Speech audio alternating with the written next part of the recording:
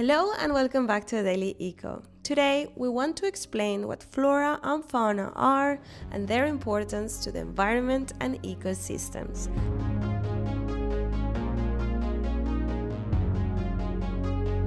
What is flora? Ever wonder where the word flora comes from? Well, it's named after Flora, the Roman goddess of flowers, spring, and gardens. Today, we use this term for all plants, trees, shrubs, flowers, and other greenery found in specific areas. We talk about flora at different scales, from your backyard garden to an entire continent. Scientists also study how plants have changed through different climate periods throughout Earth's history. Flora generally falls into three main groups native flora, and these are the plants that naturally grow in an area without human help, the original plant residents, if you will. Then we have agricultural flora. These are the plants humans cultivate for food, medicine, or decoration. And finally, wild plants, often called weeds. These plants grow where they want, while people used to try to eliminate them, we now understand many play important roles in nature and should not be removed. What is fauna? Just like flora, the term fauna has mythological roots. Fauna was a Roman goddess associated with forests and animals. Today, fauna refers to all the animals living in a specific area during a particular time period. In fact, it can be grouped into different categories. First, we have wildlife, which are animals living naturally without being domesticated. And within this group, we have native wildlife, which are animals that naturally belong in their ecosystem and that have been there for a long time. And also, we have non native wildlife, which are basically animals found in places that are different from their original homes, often brought there by humans. Then we have domestic fauna.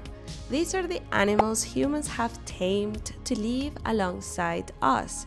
Think about dogs, cats, cows, horses, chickens, and more. We raise them for companionship, work, or food.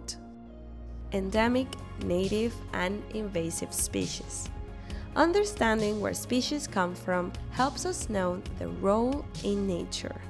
Here are three key concepts. Endemic species.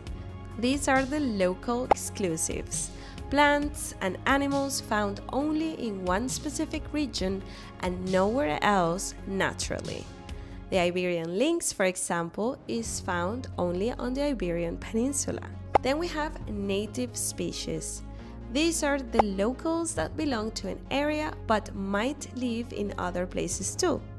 All endemic species are native, but not all native species are endemic. They are more widespread. And then we have invasive species.